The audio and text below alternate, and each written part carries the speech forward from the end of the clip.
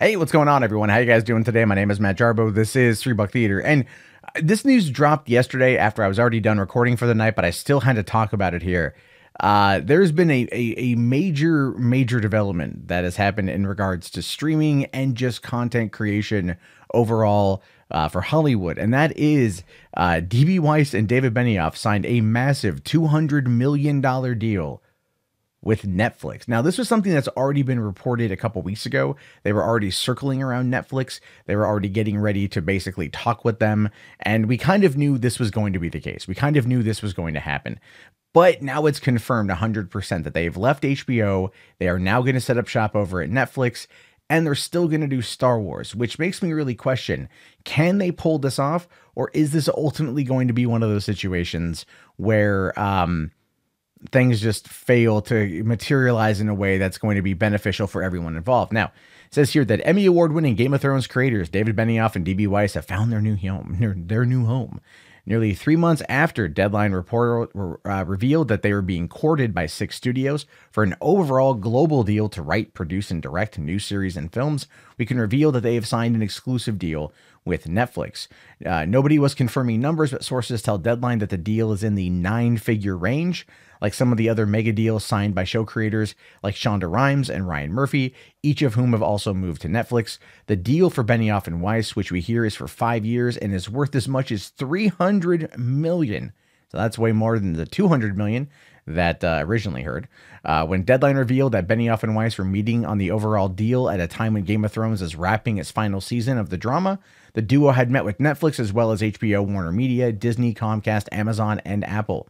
By late last month, the field narrowed to Netflix, Amazon, and Disney FX. Benioff and Weiss spent the last decade at HBO, fully focused on the groundbreaking series based on George R. R. Martin's novels. And Netflix is apparently the one who got the deal. Ted Sarandos here says, Sarandos says, We are thrilled to welcome master storytellers David Benioff and Dan Weiss to Netflix. They are a creative force and they have delighted audiences worldwide with their epic storytelling. We can't wait to see what their imaginations will bring to our members. And Dave, uh, Benioff and Weiss here say this We've had a beautiful run with HBO for more than a decade, and we're grateful to everyone there for always making us feel at home. Over the past few months, we've spent many hours talking to Cindy Holland and Peter Friedlander, as well as Ted Sarandos and Scott Stuber. We remember the same shots from the same 80s movies. We love the same books. We're excited about the same storytelling possibilities. Netflix has built something astounding and unprecedented, and we're honored that they invite us to join them. Um, so this is where it's going to get interesting because um, Netflix is, is forking out a lot of money, banking on them bringing people to the table. Now, I would argue that it's money well spent. You guys might disagree with me on that one, but it is going to be money well spent when the time finally comes for their first property.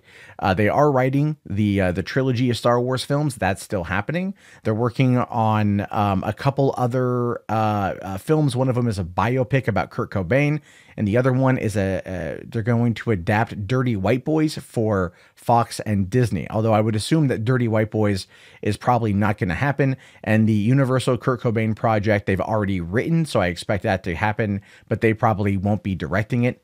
Um, and and a lot of people out there are going to be like, but why?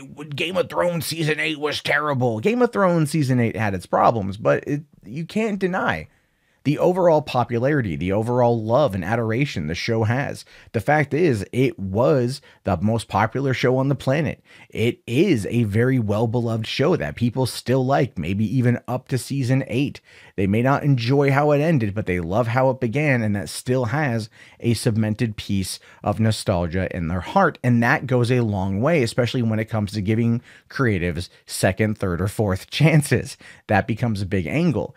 Uh, going over to Netflix is going to give them perhaps more freedom to adapt something else. It's not like HBO didn't give them the freedom to do what they wanted with Game of Thrones. What they were ultimately marred by, blocked by, disabled by, and I think it's I think that's a fair word to use is George R. R. Martin himself. The fact that the last two books didn't come out, that he had all those years to get those to get those books done, and he still hasn't finished them yet. He still doesn't have a release date for Winds of Winter. There's still nothing about those books and when they're coming. And yet all of the other stuff gets thrown onto Dan and Dave as if it's entirely their fault. And it's not. They worked with what they had. And the ending that we got in the show is the ending that George R. R. Martin told them. So now we're going to have to wait and see what's going to happen with their work coming out of this. Are they going to write something wholly original?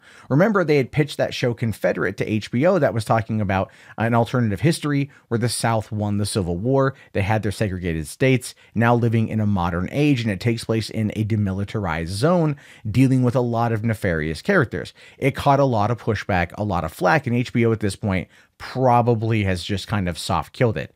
Uh, Casey Bloys has not brought it up in the longest time, and even he says that in a number of years, uh, Dan and Dave are going to make their way back to HBO, and I'm pretty sure they're going to have their hands in a lot of the trilogy, uh, a lot of the other shows that are going to be coming out from Game of Thrones in the process. So when I look at everything like this, when I look at this story, I think this is a solid deal for them. They had worked themselves up to getting this, having finished Game of Thrones, having it finish on the high viewing marks that it got maybe not necessarily the ratings but or the reviews but the ratings were really high. Um it got them it got them in the door to a lot of different places. And netflix wanted to court them because they need to they, they are going to need to get something in there that they can possibly recreate to take on what amazon's doing with lord of the rings and what disney's doing with marvel. Uh they they wanted to make sure that they had that talent there to, to really create something new and to maybe adapt something new. Um, we'll have to wait and see. I don't necessarily think that uh, that Dan and Dave are going to be able to create something um, from whole cloth. I really think they're going to end up having to do something that's an adaptation and hopefully one that's already completed so they don't have to wait on the author to not give them the final two books to adapt and then order to kind of make the whole thing go, well, a little bit south towards the end there. Um, but that's, I mean, I'm, I'm, I'm very happy for them. I think they've worked their ass off. This is a hell of a deal. And uh, who knows what's going to come out of it? I mean, Netflix is poised to really do a lot in the next couple years and I'm excited to see what happens. Uh, you guys might differ from me, and that's entirely cool. But but let me know what you think. Let me know how you feel. Let me know if you're for this or against this. Because this whole place is nothing more than a conversation. So if you made it this far in the video, toss me a like. Yeah, let's try to get to 200. I think that's a good number. Subscribe if you're new. Uh, we get a lot of new subs. We just crossed 31,000. Thank you guys so much. And I will talk to you guys later. Have yourself a fantastic day and peace out.